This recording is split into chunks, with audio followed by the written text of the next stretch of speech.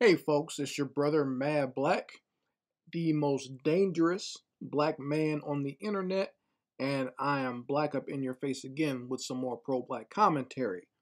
So, I saw this video clip actually on Nicole View's Twitter. She was the first one that I saw repost this, and I want to talk about this clip just a little bit because it, it proves a point that even uh, our broken clock can be right every once in a while. I think even Nicole Views put that as her uh, headline for this actual video. And the video is actually showcasing Ann Coulter, and she is on this week on ABC with George Stephanopoulos and some other folks. And basically, she talks about how the Democrats and liberals they use black people for votes, but they don't do anything for black people. And she says that if there's anyone in this country that is actually owed anything, it's actually black people because we, uh, you know, black people were the ones that were forced to work for nothing for for years, years, years, and years for several generations. Okay, so she says if there's anyone in America that actually deserves anything, it's actually black people, and you know, she says these liberals and Democrats they use black people people for votes, but they don't actually do anything for them. They kind of just push black people to the side, and they want to do things for the LGBT, for feminists and immigrants and everybody else, and give all these rights to everybody else, but they don't want to do anything for black people.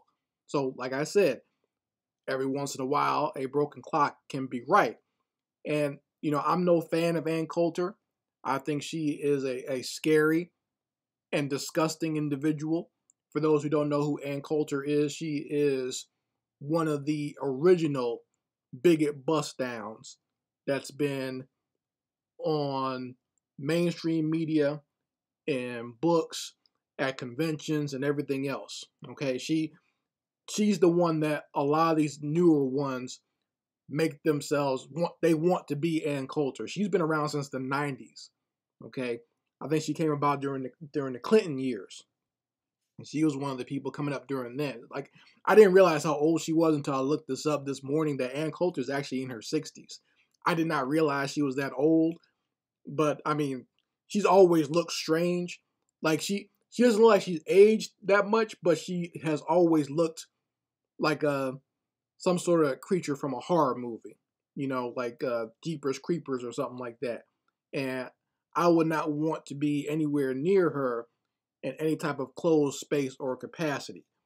But, like I said, she's been around for a long time, and a lot of these other bigot bust downs have tried to pattern themselves after her, where they, you know, they try to beautify themselves, but they spew some of the worst, nastiest rhetoric that comes from the right wing. Okay?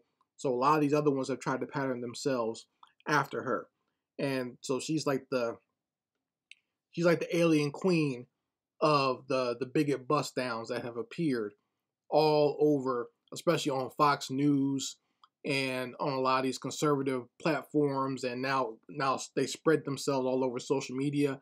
Even some of the black ones have tried to pattern themselves after her, which is which is hilarious, by the way, because she's like the quintessential ideal of what a white woman is supposed to be: extremely emaciated, skinny, with long blonde hair and blue eyes, right? So, but you know, like I said, uh, I've seen a lot of these Asian conservatives, Latina conservatives, and black conservatives try to pattern themselves after Ann Coulter.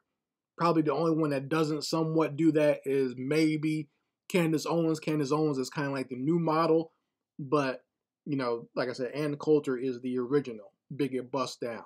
So anyway, you know, I'm going to play some of the audio of what she actually said, and then I'll give a little bit more commentary on it, but just so you can hear what she actually had to say about America owing black people something and and, and, and listen to the reaction of the other people that are on the panel, by the way, because they, they, they are quintessential liberals. George Stephanopoulos, he worked in, uh, I believe he actually worked for the Clintons, if I'm not mistaken but he he's also been around for a long time. But he's a quintessential dyed in the wool, uh, middle of the road Democrat liberal, And he's one of these people that likes to push that nonsense for everybody except for black folks. So let's listen here. They use black people for votes, but they don't give black people a goddamn thing. And Ann Coulter is absolutely right about that. Slavery and Jim Crow. Rewind it from the beginning. The way liberals, uh, the way liberals um, have treated blacks like children, and many of their policies have been harmful to blacks. At least they got the beneficiary group right. We do have to. I mean, we shouldn't there is the legacy of slavery and Jim Crow laws. We don't owe the homeless. We don't owe feminists. We don't owe women who are desirous of having abortions, but that's or or gays who want to get married to one another. That's what civil rights has become for much of the left. Immigrant they dropped the blacks after rights? five minutes. Immigrant rights are not civil rights. Um, no, I think civil rights are for blacks. See, this is essentially the problem, and the Republicans what did, don't, wait, don't can I just understand. say, what have we done to the immigrants? We owe black people something. We have a legacy of slavery. Immigrants haven't even been in this country. But you see, most of us are either immigrants or are the descendants of immigrants. Yeah, see, and there, there's the rub, as they would say. Okay, and that's the problem is that you have a lot of these people who just got here. Either they just got here or their parents just got here. They're working for themselves. Okay, and that's what that's how they work politics. It's only when it comes to black people that we don't work so much for ourselves. We want to work for everybody else. Or these that's what happens when we get mixed up in these political ideologies, all these isms. We always wind up working for other people and not for ourselves. And that goes for the LGBT community, that goes for uh, black people who involve themselves in uh, feminism. This goes for black people who involve themselves in the immigrant movements. We always get dispersed and broken up and working for everybody else, and we get nothing in return for ourselves. And that's that's just not how things work. We don't need to be allies with everybody to get things. But uh, like I said, Ann Coulter was right in this regard. Okay, she said that even though liberals treat black people like children, which is also absolutely true, they treat black people terribly, don't really speak to them in any type of adult manner. That's why I say the legacy of slavery, uh, the ideas and the mentality that goes between, uh, behind the master and slave relationship has not really changed in this country. That's why they treat black people like children. Okay, and they they they they give black people fish fries. They go to a black church and they sing songs, and that's all black people get. It's always about symbolism. It's always about things that are not tangible or things that we can't actually use to grow or get by in any type of realistic sense is always nonsense. Okay, that's why these Democrats they'll come to us and they'll start dancing, uh, talking, uh, speaking in, in Negro spirituals and all this other nonsense. They never do anything that's that's realistic for Black people. They don't talk to us like we're adults. But so she's right about that in that regard. But she said at least they got they know that they're supposed to be doing something for black people, but like I said, they never actually do. They always they just cast black people to the side and want to work for everything else. But like you said, you hear these liberals and Democrats within this this little sound clip, they automatically want to switch to you don't think immigrants are, are is a civil rights thing? They don't get civil rights? No. They're not from here. So no they don't get civil rights. And that, that's the one thing I don't like about the word civil rights. Even uh, Dr. Claude Anderson said this. He said, "Who the hell is civil? It should be called black rights because that's what it was um, originally supposed to be about. We got taken away from that, and they kind of steered us off course by even renaming it civil rights. Now it applies to everybody. A white woman can be under civil rights. Gay people can be under civil rights. That's what I'm saying. You can't.